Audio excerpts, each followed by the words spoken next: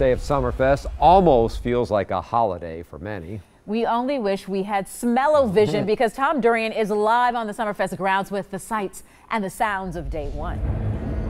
Yeah, the wind is in just the perfect direction, too, for me to really get all the smells of the food that are around here. You know, today we went around and we talked with people out here for day one. We're out in front of the amphitheater right now where everybody's getting ready and going in for Thomas Rhett, who's playing tonight. You heard Brian talking about that. But, you know, we found some people out here at Summerfest that have been to every one but one Summerfest. Between the two of these people, more than 102 years of Summerfest experience. Standing in the warm sunshine, fans like Jerry Bunker waited for the gates to open. How many years have been coming here? 51. You heard that right. For 51 years, this West Allis man has come for his love of music. It's great. Good variety. Once through security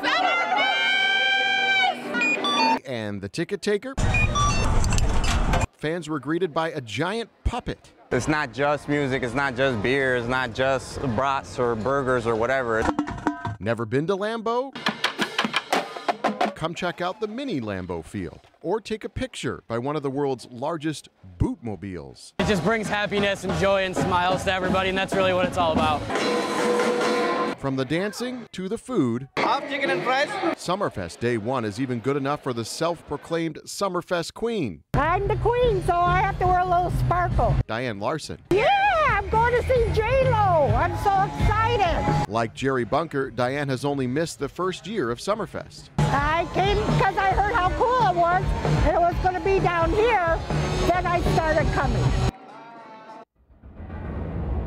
And I actually found out, uh, you guys back in the studio, that our photographer behind the camera, Andrew Triplett, has been to almost every single Summerfest, or all of them, he thinks. His mind's going. It's been a long time, but he's been to a lot of them. Uh, behind me, everybody in boots. We talked about the bootmobile. They're in more of a cowboy boot back there because they are getting ready for Thomas Rhett tonight in the American Family Insurance Amphitheater. We'll send it back inside to you. ah, sounds good. To see all the acts who are performing on opening night, head to tmj4.com slash rockstar summer.